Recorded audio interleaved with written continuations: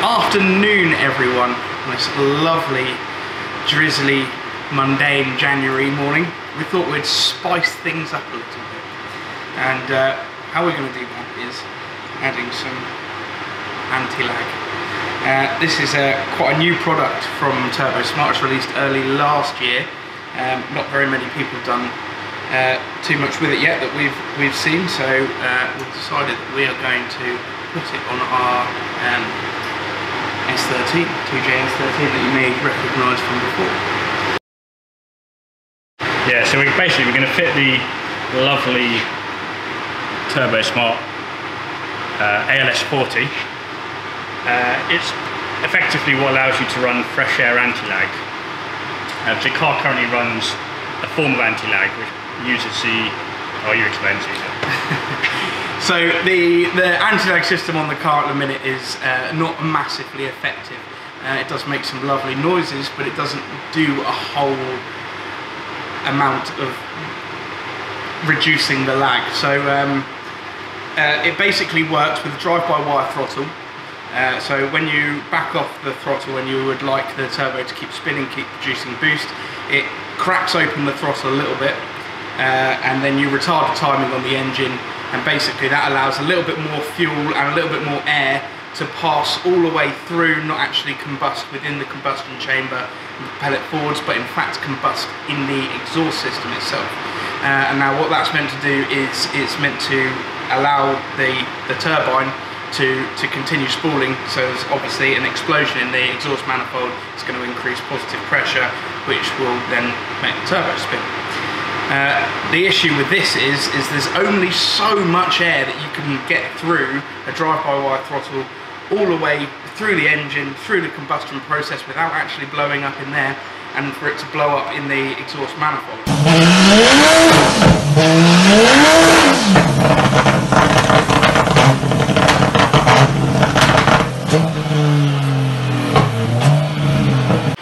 What we're going to do is we're going to fit this nifty little device which has been around for a little while in uh, in motorsports such as rallycross, time attack and so on. Uh, it's only just become widely available to the public in a, a reasonably, I'd say cheap but affordable uh, scenario or, and amount of products, which is what Turbo Smart have provided here. So effectively, um, this is the ALV40 um, which is pretty much a wastegate really, isn't it? It's adapted wastegate at the end of the day. Uh, this unit costs uh, it's around 500 pounds, um, that depends what country you're in. Uh, it's available to buy, anyone could just buy this off of our website. Previously, was there about two grand for one of these? Something like that. Uh, we've, so we've done quite a few systems in the past for those uh, other motorsports I just mentioned, like uh, World Rallycross, um, and we've used valves from other manufacturers, which were typically very expensive things to buy. Very hard to get hold of yeah, as well. extremely hard to get hold of, long lead times, and, and, and quite expensive. You had to be very dedicated if you wanted that particular uh, component on your car. Uh, the cool thing about this is obviously it's a lot more affordable. It's still not cheap, it's not a £200 mod, um, but with its mass availability, part of what we're going to do with the S13 is we're going to fit our most up-to-date 2JZ, 2JZ manifold to it because the one that's on there currently is three years old. Slightly older design, isn't it? Yes, it's a it's a six-year-old design. The actual manifold itself that's on the car has done three seasons um, competing as well as demos and all sorts of bits and pieces like that. So it's uh, it's getting on a bit. It's a pretty old bit of kit as far as um, motorsport is concerned, especially with the amount of abuse that we put through it. So we're going to change it for our most updated version, which is it's about a year old the design now. Um, but that is our that is our current most latest design with uh, extra wastegate priority um, and all those sorts of bits and pieces. It actually changes the turbo position very slightly as we found with massive turbos like the one that we've got on there now. I know some of you are going to say massive turbo, we've got a bigger one on. Good for you. But I've got this size turbo. and it's, it is slightly too close to the head for our liking. So our new, our new one um, spaces that out slightly, it's a little bit better, it's a little bit set down. Um, it just allows you to get to an even larger turbo. So a turbo that we've got on there at the minute um, is is will fit in easily, and an even bigger one will still fit in very nicely. So we, we were going to put it onto the manifold in the car because there actually isn't anything wrong with it. But what we want to do is we want to be able to um, you guys to be able to buy this product. So you'll be able to buy this manifold with the uh, fresh air pipework and the flange to mount the ALV40 onto it. And the reason that we're using the new manifold is because if we fit it on the old manifold, it doesn't work on the new one effectively. We don't have the jigs for the old one anymore, threw them in the bin. So, so yeah, basically we're designing, uh, we're just an addition to our uh, product that you can buy now. Uh, and you, this will be available to anyone and everyone uh, via our online shop. Um, and this is something that we want to do to make uh, systems like this much more available to the public. And hopefully we achieve this because otherwise we're going to have to re-record the start of this video. I, I do hope so. Um, so yeah, we'll see how we get on, I suppose. Good afternoon. Can we come back a bit, a little bit later in the day? So we've uh, stripped off our old setup that we had on the car.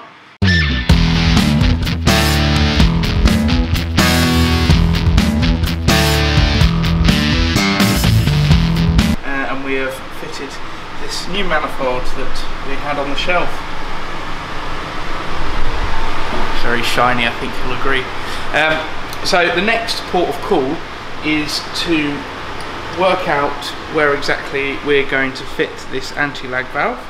Um, but first of all, I'm just going to talk to you a little bit, if I can get that to stay there, a little bit uh, about the flange that we're going to use. Um, now, TurboSmart themselves don't actually make a six-port flange. Um, they their maximum is a five-port, I believe. Um, not 100% sure why they didn't do a six-port, but they obviously didn't feel it necessary. Um, we, however, working mainly on engines such as this, do feel it's necessary. Uh, so we actually designed our our own flange. Right. uh, so this was uh, completely drawn um, in-house and we outsourced the manufacturing because we don't have the sort of machinery to, to make that unfortunately yet. Um, so uh, in doing that, um, TurboSmart for their design and their flanges, they uh, use a 19 mil bit of pipe to go to each of the runners. Um, we, because this is a six into one, uh, we found that we didn't have the room to to fit six around there with a and make it look nice and work well basically. Um, so we've gone for a slightly smaller size, which is the next size down. Now in the past we've made quite a few of these as I mentioned before and we've always used this next size down pipe which is 16, 16 mil. I never remember that one for some reason. So we use 16 mil pipe and we've used that um, on goodness knows how many exhaust manifolds that we've made in the past um, with similar systems to this. Um, so we are fairly confident, although we haven't quite tested it yet because it's not on the car, that this is going to work absolutely fine. Um, so next point, where to put this. Um, so, as we know, the the pressure from the boost side of your engine, so after the uh, compressor housing of the turbo, uh, needs to go in here and then out here towards your manifold. So, and this can't be in a place where it gets too hot, so it can't be right in the middle of the manifold. Um, so, I think on where we're going to go today is just here. I'm Just going to sit nicely in front. Gonna, it'll get a good bit of airflow from the fan, which is just there, um, and we should be able to make some runners that go from here all the way to the uh, the individual headers on the on the manifold. So on a normal 2J, the alternator is actually here, but it's really Oh, yeah. common to put them over here. Uh, yeah, there's two reasons for that really. One, the main reason for that being heat. So obviously you don't want um, when you start putting a lot more boost into these engines. Obviously they create a lot more heat. So uh, and the alternator can get quite warm where it is and become vastly less efficient. So we swap it over to the other side. It's not a particularly difficult thing to do. Just gonna make a couple of little mounts up, um, stick the alternator on the other side of the engine. Um, and that will be necessary for anyone wanting to fit one of these to the finished product. What's reason two? Uh, reason two, I don't know what reason two was. Made the wiring simpler, neater. That was it. It was making the wiring simpler. Well, no, I thought the second reason was because we're going to put our anti-lag valve there. So that can be a third reason. uh, yeah, it makes the wiring a lot simpler. So that side of the engine anyway. Good morning. Um, so yesterday we got all the Yesterday, it's supposed to be one seamless one seamless. Uh, yeah, 20 minute whole long process. Yeah, this um, this takes a little bit longer than 20 minutes, I'm afraid. So, uh, yesterday we got the position for the anti-lag valve uh, in place, and I mocked up the pipes. That, that position's where we showed roughly we were going to put it. That's isn't right. Yeah, Yeah. orientation for them. Yeah, no, that's that's where, where we had it before. Um, so we made a little bracket to hold it to the manifold, and that should help support it um, throughout, even when the pipe work is on. Um, so we haven't done this in stainless before, so um, I'm a little bit wary of uh, it cracking. So we put a brace on there to a help me build the pipes, and b hopefully stop it from ever breaking in the future. So I've yeah mocked up all the pipes. Um, I think this one, probably that one. So that fits in, something like that. And the rest of these, as you'll see, after I've welded them up, fit nicely uh, in this sort of area. Um,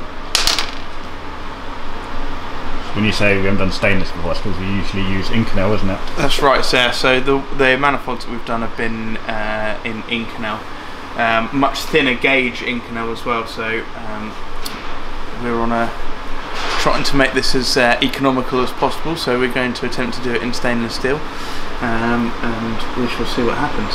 Um, an importance of Do we not do like a prototype in stainless at one point? Uh, I think we are re- yeah, very long time ago. We did one prototype in stainless steel for a um, hill climb car, I believe that was, and uh, it's still going allegedly. So uh, and that hasn't broken. That's done quite a few events now. So um, we're quite confident that this is going to work. Um, but like I say, we take every measure to ensure that it is going definitely going to stay there for as long as possible, even throughout this extremely harsh environment that we're going to put it through. Um, so part of the process of making sure that it is as strong and uh, as as good good flowing as possible. Not sure that's fantastic English, but I'm sure you get the point.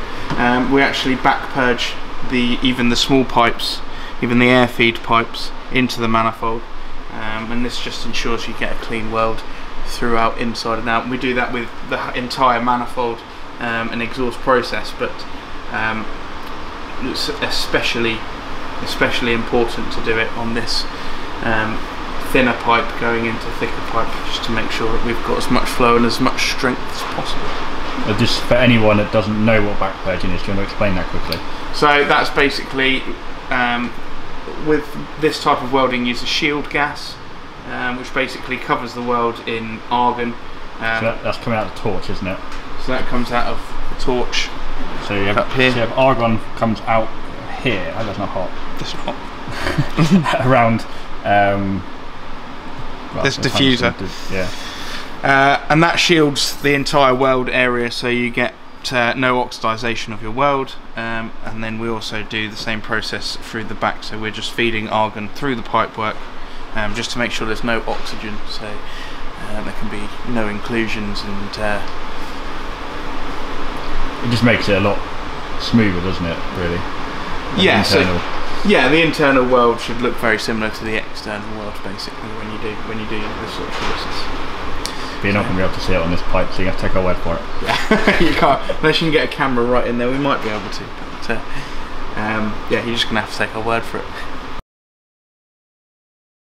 So here's the finished article. Um, I've just finished welding all this up. Um, we bolted all the wastegates and the turbo and everything on it to take some lovely pictures that we'll be posting online. Um, I have tried to.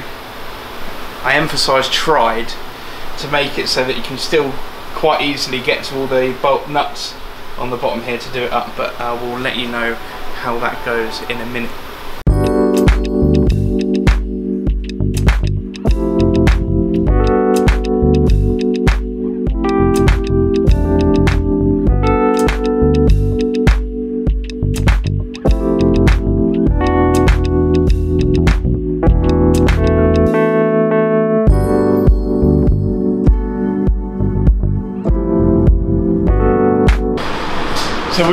Car completely together now. Um, this is version one, shall we say, of uh, what we've managed to piece together ourselves with our prior knowledge of these systems. Um, we haven't actually done it on a six-cylinder um, or a car like this at all. In fact, um, we've done a few rallycross cars, as I said, but not uh, not a car with a 2JZ just like this. We've used our own prior knowledge, um, some help from our tuner and from Turbosmart themselves um, to get this right. So we're hoping that on the dyno tomorrow, it's all going to go as planned. We'll be on version 75 by the end of the day. Yeah, either that or we'll be on version 75 by the end of the day. So, as the uh, anti-lag valve in there is essentially a wastegate which works um, with a valve and a diaphragm. Uh, you need uh, some form of actuation to open that diaphragm, either pressure or vacuum. Now, because there won't be any vacuum in the system whilst the anti-lag system is actually on, uh, we're going to use pressure. So what we have in the engine bay is an accumulation tank. Uh, that has a one-way valve in the bottom of it which takes boost pressure from the boost side, so that's on just after the turbo. Um, as soon as you rev up the engine it will acquire a little bit of boost, um, a little bit of pressure even if there's no load on it. Um, we use that to pump up the tank um, there's a one-way valve in there so it can't get back out again. And at the end of that is a four-port Max solenoid. And what that does is that allows us to push the pressure that's in the accumulation tank one side or the other from that diaphragm in the in the uh, ALS valve. So we can we use that to move the valve up and down. I guess it's, like, it's the opposite of a wastegate, really, isn't it? Uh, yeah, essentially, usually you use uh, a vacuum to operate a wastegate, um, but this is uh, the other way around, so we're actually using pressure to actuate this one. So once uh, we've got the valve opening and closing uh, properly, uh, what this does is it takes pressure from the boost side of the, the turbo, so that's just after the turbo, and it allows the air from there, the um, positive pressure from there, to travel through the valve and then actually into the exhaust manifold itself. Um, then what the tuner is going to do is he's going to retard the timing, add some fuel, um, and just allow that air and fuel to ignite in the exhaust manifold, um, which is going to keep the turbo spinning. Um, once the turbo is spinning even faster, it will then continue to create boost and keep the whole system circulating. So we can get ourselves into uh, a scenario with this, it's possible, um, to have a, a, runaway system. So obviously as it's creating more boost, it will put more boost into the exhaust manifold, creating more fire, spin the turbo, and it will just continuously keep circulating. So we have a few different sensors and bits and pieces there to monitor uh, what's going on.